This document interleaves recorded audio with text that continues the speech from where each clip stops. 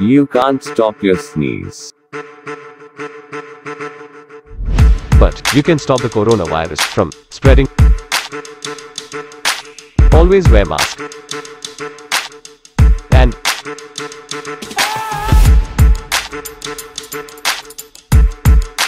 keep maintain social distancing. If you would like to live a normal life as like before March 2020. Stay home, stay safe. Initiative by iPower Media and Advertising